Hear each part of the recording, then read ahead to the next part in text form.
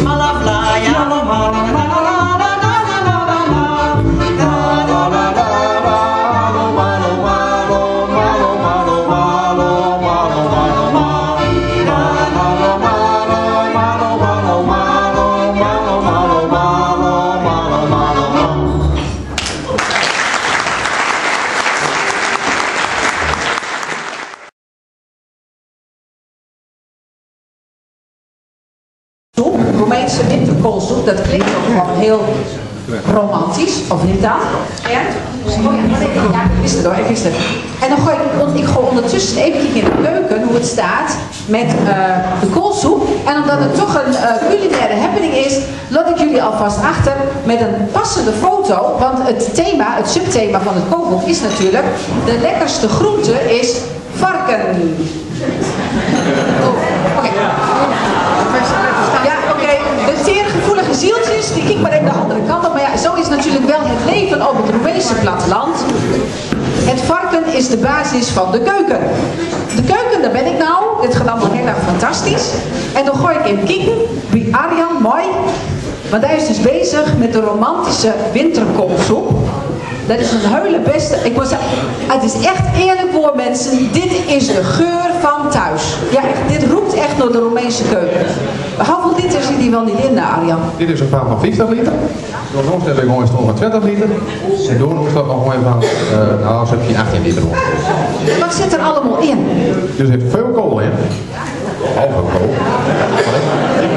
Je hebt 18 kool gelijk. Ja, 18 kool, dat wordt op strolgas naar u, zomaar eens een goudgrafje te worden. 18 dikke kool. Er zitten siepels in. Er zit paprika poeder in. Er zit natuurlijk gewoon rotterbier in. Er zit een bouillonbier in. Er zit in. Er zit varkenspoten in. Er zit, uh, 18 camdo zit erin. Vind ik nog wat vergeten? Nee, niet door.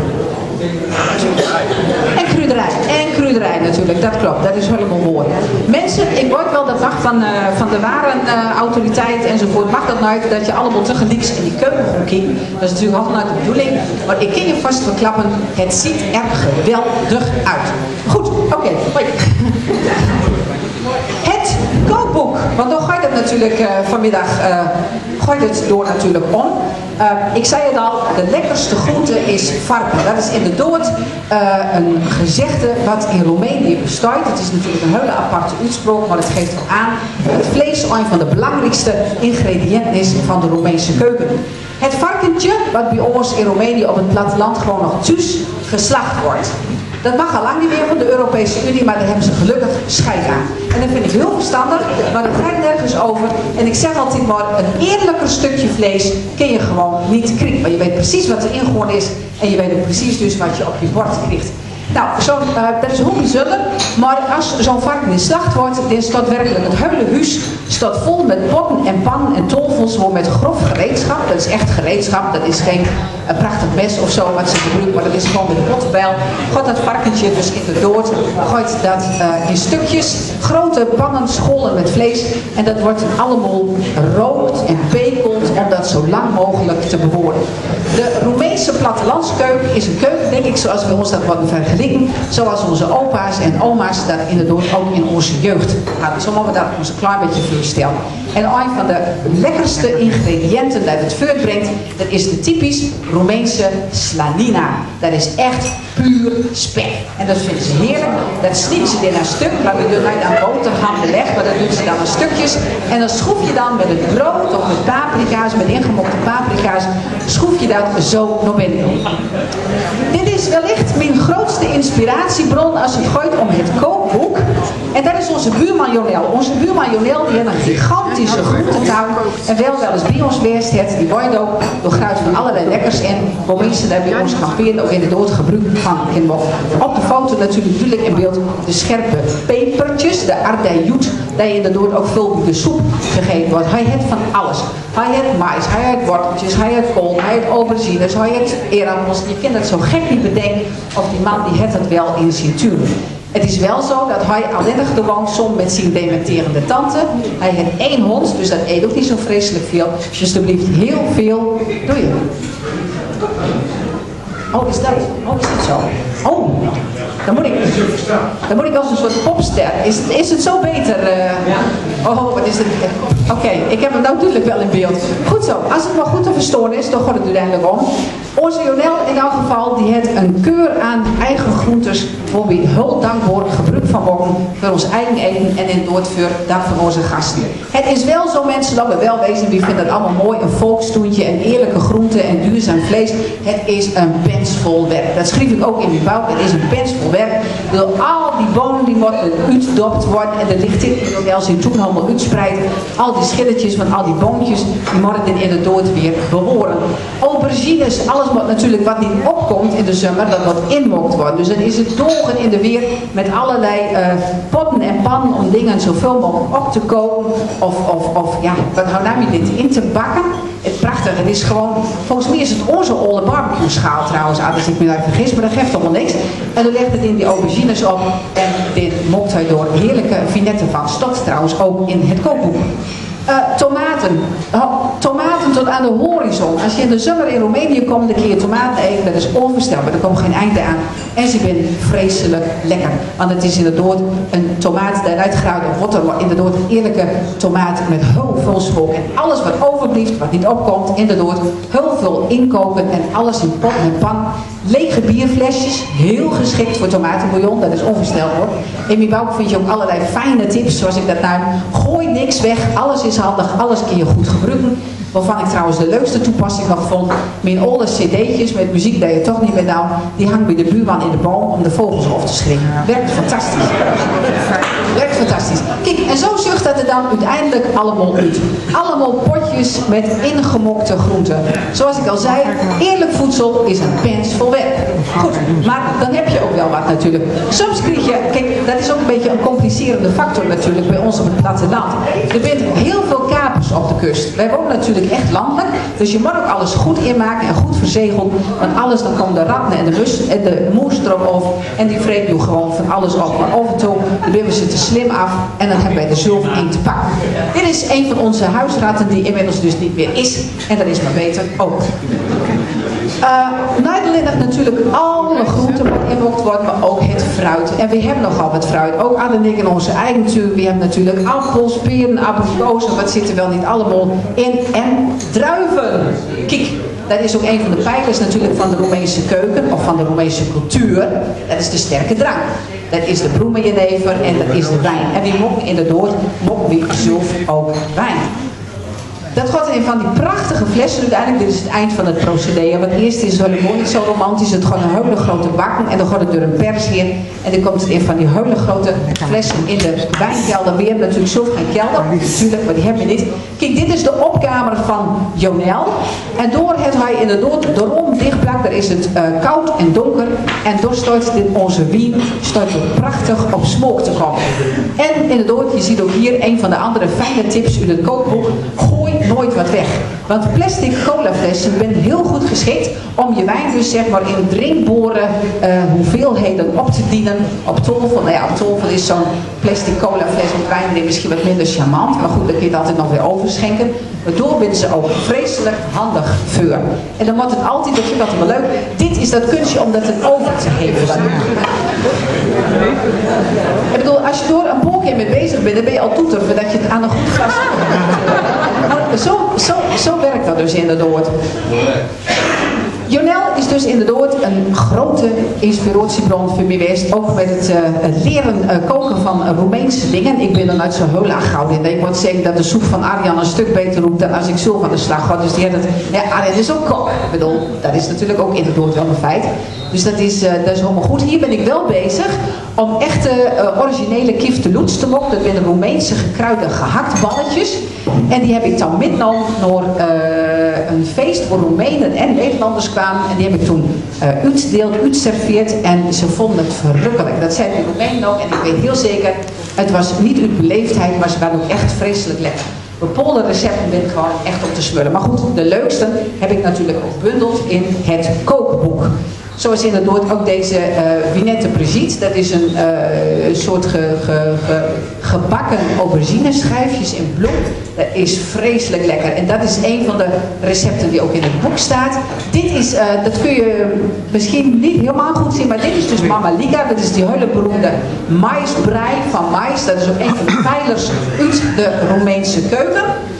Dit is uh, vogeltjesmelk. Ja, het is een hele aparte naam. Het is een heel lekker toetje. Wat is erop? Zit die goed? Nee? Oh, het beste kop. Wacht, let maar eens even op. Dit is knoflooksnort. Dat stort er dus ook in. Dat kun je allemaal, kun je allemaal ook. Het is echt heel simpel. Maar dat vind ik wel mooi van de Romeinse keuken. Soms heb je recepten in Nederlandse bloemen. En Dan moet je een snufje van dit hebben, een snufje van dat. En dan moet je naar hele aparte winkels. Ja, nou, oké. En, en, maar dit is gewoon heel simpel. Je hebt het eigenlijk allemaal altijd wel in huis. Het bent echt basisingrediënten waarmee gewerkt wordt. De knoflooksnot, staat ook mooi verhaal over in een van de eerste bundels. En ook in, in dit kookboukje. Wij hebben verschillende pogingen gedaan om een aantrekkelijke foto te vinden van de knoflooksnot. Maar het is helaas niet gelukt. Eh, zo blijft het eruit zien. Maar ik moet heel eerlijk zeggen, er was een Romein ooit, die heb ik getroffen. En die zei tegen mij van... Ik weet zeker, u moet het gewoon leren waarderen. Want in het begin dan vind je ook eh olijven vind je niet lekker, koffie lust je niet. Maar dat zijn allemaal van die dingen, dan moet je het gewoon leren waarderen. Maar dan denk ik van ja, ik ben nou zo bevatten, ik weet niet dat leren waarderen. Soms moet je op een gegeven moment ook zeggen, want ik heb het genoeg geprobeerd. Klaar. Goed, aan de volg ik me niet meer. Maar uiteraard staat het recept er wel in. Dus voor iedereen die zegt van yes, ik wil het dus absoluut proberen. Veel succes! In het kookboek natuurlijk ook het recept voor onze heerlijke bokkenballetjes.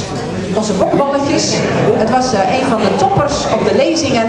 Het is hartstikke lekker vlees. Het is vooral dat je zeg maar psychisch een bepaalde drempel over moet om balletjes te eten. Maar het is, hè?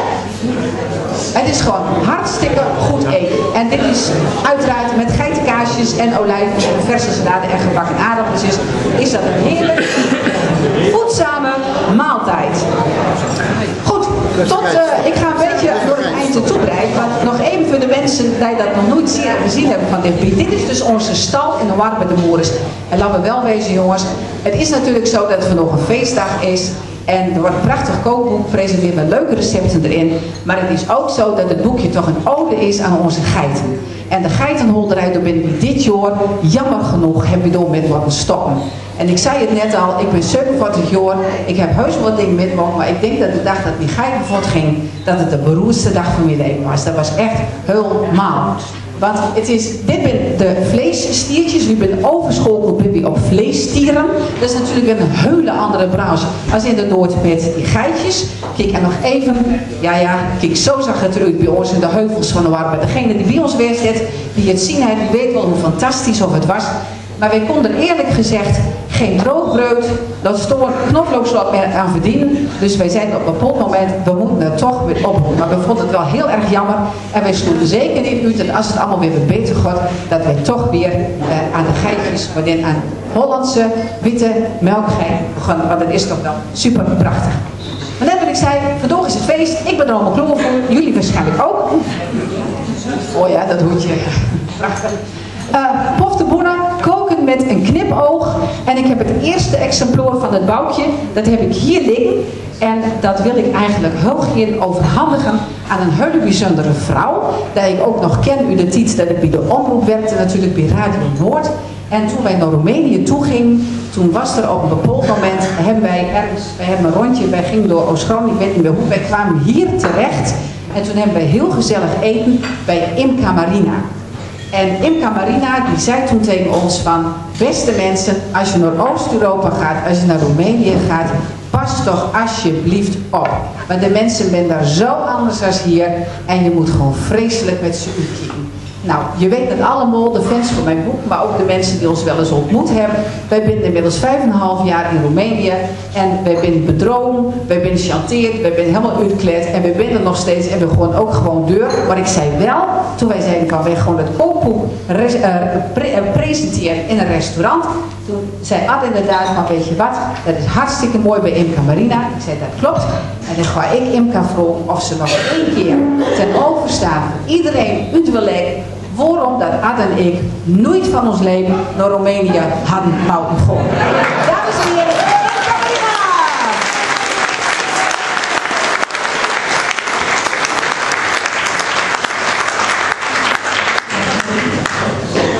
Luid Imka, het is een leunjeboukje voor, ja, voor het leunjewitje in een prachtige jurk. Het is het eerste exemplaar.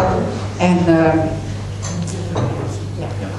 ik zal zeggen, misschien daar zit er behalve die romantische winterkoolsoep nog iets anders bij waarvan je denkt van dat is ja heerlijk. Dus uh, was wel zeker, ik heb jullie gewoon gegeven.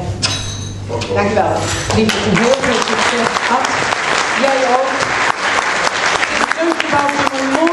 Dat bij de haal zeker allemaal goedemiddag. En welkom op de Vicarie van met Wolda, met Janneke en Ad. En de presentatie van dit mooie bouwtje. Want geloof me nog maar, ik ben er best en eh, dat is al heel lang. Maar ik zal even vertellen wat hier gebeurd is. Een mooi verhaal. Ik was nachtclubzangeres in Amsterdam in de Blue Note. Ik was 18 jaar en toen zong ik met Pia Beck. Ik had nog nooit van lesbische vrouwen, dus ik trok kleid van mijn deur open. Daar stond Pia Beck te vrijen met mevrouw Kempers. Ik deed hem ga weer dicht. En toen zei ik tegen Harm, de man achter de bar, is Harm, is ze mag even iets vragen? Ik zeg, ik zeg, heb zo net mevrouw Kempers zien zoenen met eh Pia Beck. Ah, zegt hij, dan moet je niet naar kijken, kind, eh, daar ben je wel aan. Hij zegt dan trouwens, wat moet je in die kleedkamer? Ik zeg, toen werd ik heel boos, ik was wel weer weerbaar. Ik was 18, maar ja, wist ik veel. Ja, maar het is ook mijn kleedkamer. Toen zegt hij, nou, dan moet je er maar aan wennen. Dus dat was mijn kennismaking eigenlijk ook met het nachtclubleven, dat alles mogelijk was. Toen was ik nog jong, onbedorven en prachtig. Ja, zo gaat dat in het leven. Maar goed, lieve mensen, in die nachtclub heb ik gezongen met allerlei mensen. Eh, van allerlei slag. Eh, met jazzmuzici, met Ben Webster, een prachtige saxofonist. Met alle mensen die in Nederland, Robbie Magna, eh, Piet Smal, alles wat maar wat te zeggen had, stond in de Blue Note te zingen. En al die jazzmuziek heb ik ook gezongen. En die zongen goed. Ik had ook eh, heel veel fans. Ben Webster woonde later naast me. Die was echt fan van me, maar dat kwam ook omdat ik voor hem altijd een bonensoep maakte. Boontjessoep zoals mijn moeder maakt, zeg maar. Dat vond haar lekker. En doe bluizaal wat met voort. In elk geval, ik leerde daar niet alleen jazzmuzici kennen, maar ik moest daar vier keer per avond, per nacht van tien tot vier uur nacht, een show geven. En dan werkte ik wel eens met een man van naam Moscoui, met de Atheniërs. Nou, dat was ook al bijzonder prachtige Griekse muziek. Christos was nog getrouwd met haar. En zij zat heel vaak op Christos te wachten. En toen werd ze ook beroemd in Duitsland. Zo ging dat. Zij werd beroemd en later ik eigenlijk ook in Duitsland met hits. Wij kwamen elkaar regelmatig tegen. Ook nu als we elkaar nog zien. Dan laten we alles liggen en dan is de, de band, net zoals met jou, hier met Groningen, is weer als was het gisteren dat ik haar gezien heb. Zo leerde ik ook een violist kennen uit Roemenië. Ah. Hij was 1,90 meter lang. En hij had prachtige viool. En hij had ook strikstok. Nou, en ik, wat ik nog nooit gezien. Hij droeg als eerste, voor mijn gevoel, in Europa, want dat was toch in de jaren 60, eind jaren 60. Begin jaren 70 was helemaal niet beroemd. Maar een microfoon aan zijn keel. En als hij speelde en had een viool hier, de strijkstok was dichtbij, dan hoorde je dat zo prachtig fluwelig. Dat klonk zo schitterend, je wilde altijd wel naar de viool luisteren eigenlijk. En hij zong dan ook Roemeense muziek. Hij heette Dimitri. En wij moesten hem noemen Mitica. Dat was een verkleinwoordje van Dimitri, Mitica. Nou, we hebben een hevige romance gehad. Ik was vrijgezel, ik kon doen en later wat ik wilde, maar ja, dat mocht natuurlijk allemaal niet. Ik zit in mijn boeken, ik zeg, ik heb ook nou een leuke man kennengelerd. Ah, zeg mijn boeken, nee toch, toch mijn boekenlanden. Ik zei, nou, hij komt uit Roemenië. Ah, daar komt niks van in, zei mijn pa. Was toen direct met opgehoogd. Ja. Enfin, dat deed ik natuurlijk niet. Maar goed, ik ging naar Roemenië met een hele delegatie met mensen. En je moest een visum hebben. Een visum, ik kwam ze zo wat idee dat was nog achter Verdien. Nou, ik heb het wel bij. Naar overal waar we heen gingen, elke stap die we deden, daar stonden ook altijd mensen die ons begeleidden en die wisten waar we heen gingen. Enfin, ik wilde naar het dorpje gaan. Zo'n soort naam als Pascal Zozovic aan. Daar Mitika, zijn moeder, zei hij. Ik erheen, 80 kilometer het binnenland in, naar links van Boekarest. Nou kwam erop terecht, moeder vond me niks, want dat bleek, de mooie Mitika had nog wat meer aan zijn strijkstok hangen dan alleen de zangeres uit Groningen. Hij had ook nog een vrouw met vier kinderen. Ah, was toch zo blij dat het allemaal goud geworden is. Enfin, toen ben ik eh, net wat jullie beleefd eh, hebben. Ik ben beroofd. Ik ben ehm, belogen. Ik heb kilometers met mijn vrienden die met mij reisden moeten lopen omdat de, taxi of het autootje waar we moesten, de trabantjes niet kwamen. Enfin, dat gebeurt ook. Dan zeggen ze, ja, we zijn er, we zijn er. Dan sta je twee uur te wachten, drie uur. Dan denk je, nou, ze komen nooit meer. Nee, die komt ook nooit. Dus dan moet je gewoon lopen. Maar als ik aan Roemenië denk, dan denk ik aan die heerlijke zoete tomaten. Ik denk aan die verrukkelijke, verse, waterloop in de mond paprika's. Zoals wij ze niet meer kennen. Ja, onze harten moet ook wel lekker. Maar daar hebben ze de echte, de diepe, de warme zon van de binnenlanden. En niet van een zeeklimaat. Hier is de zon ook wel, maar het, het, is, smaakt, het smokt allemaal anders, zeg maar. Net zo goed als een Bacardi Cola in Spanje. Dat smokt veel lekkerder dan hier, zeg maar. Nou, en zo stop met de zelfgemaakte wijn. Als ik die bij Janneke ga drinken, en dat doe ik vast nog een keer. Nou, dan word ik zeker dat we doen onder tafel komen. Janneke en Ad, jullie hebben een leven opgebouwd daar. Ik heb je niet willen waarschuwen. Ik dacht, oh, oh, oh, weet je. Toen moest ze zeggen, waar moest staan begrust, maar ja, dat wist ze toch wel. Ze had gelukkig haar Ad aan haar zijde. En ik denk dat het paadje naar Groningen nog steeds breed genoeg is. Want wij missen je nog steeds. En het is voor Ad ook zo'n geluk dat hij een beroemde vrouw heeft in het noorden. Hebben dat pad is gelukkig nog geopend voor jou. Waar ben je nou toch Ad? Ik zie je. Ah, dat wist je waarschijnlijk. Gewoon er toch zijn bierstoel halen. Dat is soms. Dames en heren, applaus voor Ad Groot.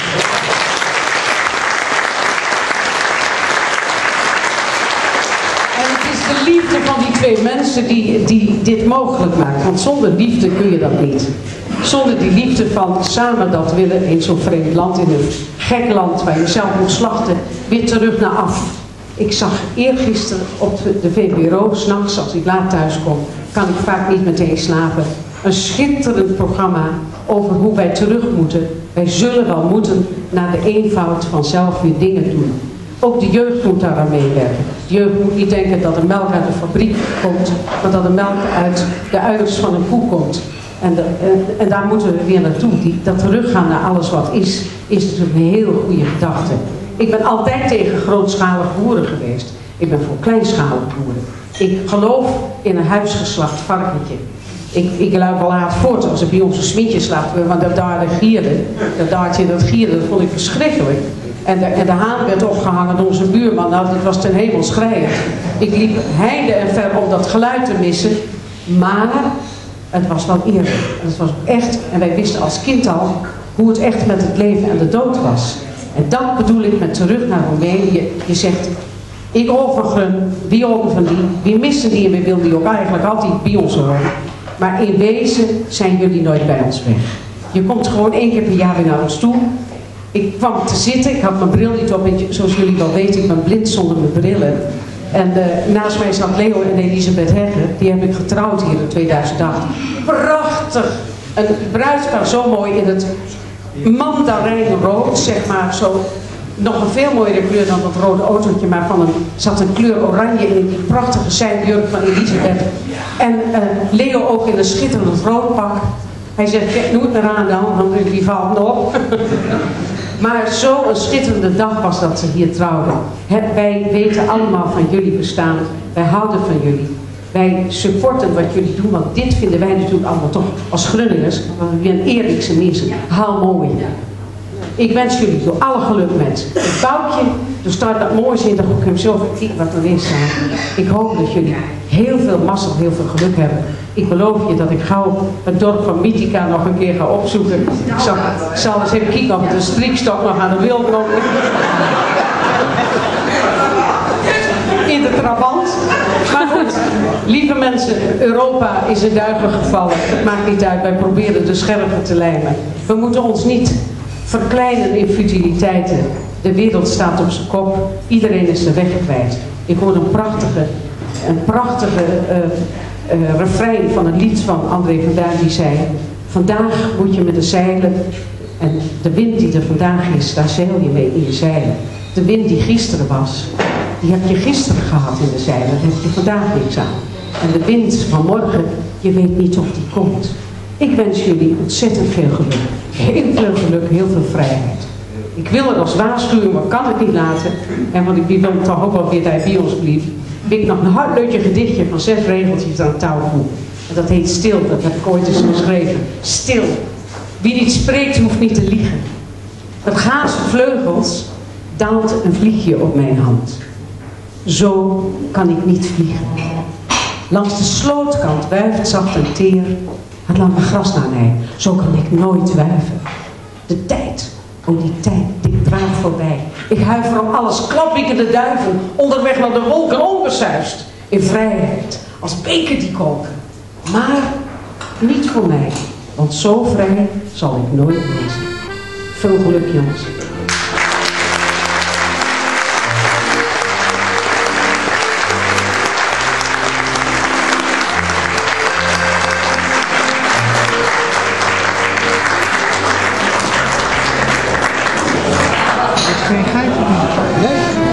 Jullie lief dat weet je. Ik geef de microfoon aan je over. Ik ben uitgeluld.